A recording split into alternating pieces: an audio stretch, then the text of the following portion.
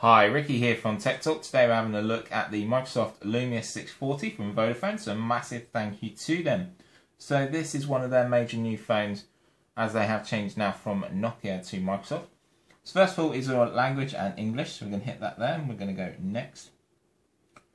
We've got terms of use, of course we've got to agree to them. Select your network, and this means Vodafone contract.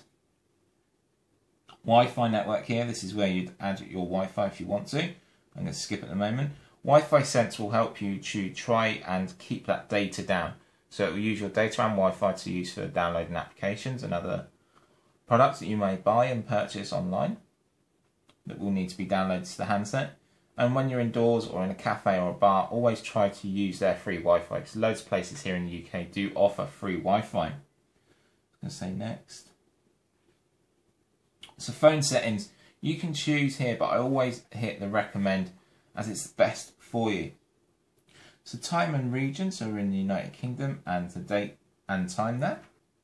So Windows login, you'll need a Hotmail account here. You can set one up if you do not have one, but most of us do have a Hotmail account or Outlook or Live account. So with this, you can purchase applications and use the free storage that comes available with this. I think it's 20 gig that's free. So I'm going to sign in later.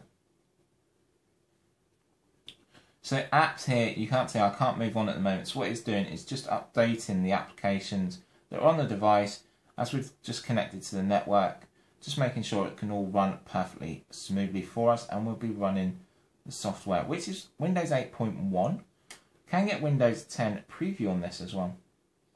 Okay so that's all ready. So we're going to hit next. It's almost done now hit next. So thank you for choosing Microsoft device. Hit next. There we go, we're running Windows 8.1, so differences are with 8.1, you get three columns here, and also you get some folders as well. So just had a text message there from Vodafone about our network.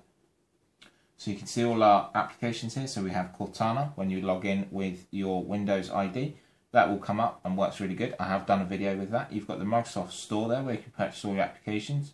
You've got Facebook, of course, you've got photographs, you've got Fitbit already built in, stock market down here, photographs as well. So thanks always for watching. Comment, rate and subscribe. Please give a thumbs up on the video. And I'll see you on my next one. Bye for now.